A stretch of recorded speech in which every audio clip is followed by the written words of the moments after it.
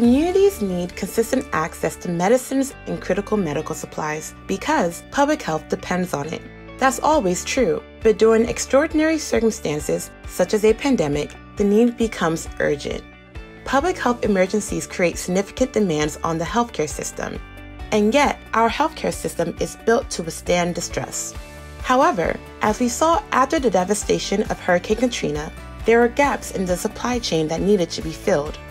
Healthcare Ready was established as a nonprofit to do just that. We work with supply chain partners to ensure a shared goal that the supply chain bends but never breaks. What is the healthcare supply chain? Think of it as three essential steps manufacturing, distribution, and delivery. First, the right medicines and supplies must be manufactured. Key items such as anti infectives, antiseptics, and protective gear. Then they must be distributed, often in bulk and often quickly. Finally, they must be delivered to individuals in need. As COVID 19 showed, a pandemic constrained the supply chain. However, the next pandemic or emergency situation will likely stress the system in different ways. Over preparing for one kind of situation could leave us vulnerable to something entirely different. Fortunately, we know how to prepare for a swift and strong response, no matter what comes. One key to success is flexibility. Manufacturers and suppliers pivot to meet emerging needs, and distributors move supplies to hotspots.